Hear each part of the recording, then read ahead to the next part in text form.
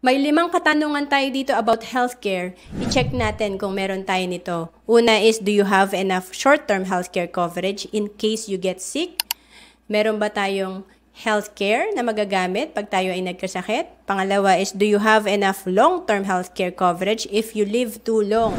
Pag tayo naman ay nag-retire, umuwi na ng Pilipinas kung OFW tayo or nag-resign na, meron ba tayong magagamit na healthcare?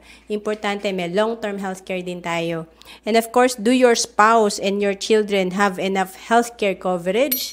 Maaring tayo employed, maganda yung benefits natin or nasa ibang bansa, pero yung pamilya natin, meron ba silang healthcare coverage? And do you know how much healthcare you need in your lifetime? Lahat naman tayo pwedeng magkasakit, walang exempt sa pagkakasakit. Pwedeng bukas, pwedeng next month may mangyari sa atin dahil ang ating kalusugan ng ating puhunan sa pagtatrabaho. Kaya importante, meron tayong healthcare protection.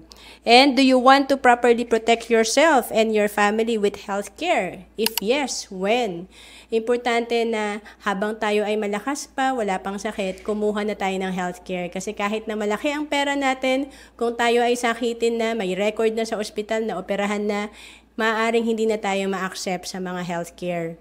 And kung naghahanap ka ng healthcare, pwede ka sa Kaiser. Ito yung long-term healthcare natin na 3-in-1 na. Kasi dito meron ka ng healthcare, insurance, and investment. Mag-sample tayo dito na yung isa nag-start at the age of 22, yung isa naman nag-start at the age of 30. Si Mr. Save Early, si Mr. Save Later.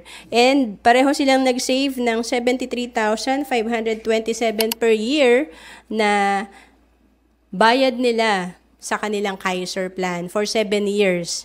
And ang pagkakaiba, mas maaga nag-start si Mr. Save Now ng 8 years at the age of 22. Pag edad niya na 60, ang kanyang projection sa kanyang Kaiser Healthcare or retirement fund is 8.1 million. Samantalang si Mr. Delay, nasa 3.7 million lang. Ang difference is 4.3 million. Kaya importante, eh, talagang kumuha tayo ng maaga ng ating savings program. Ang kagandahan dito, may savings ka na, may investment ka pa, Pwede mong gawing retirement fund mo at kung magkasakit ka, may healthcare ka at may life insurance ka pa. To know more about Kaiser, message mo lang ako sa Facebook, Roan Celis Capistrano.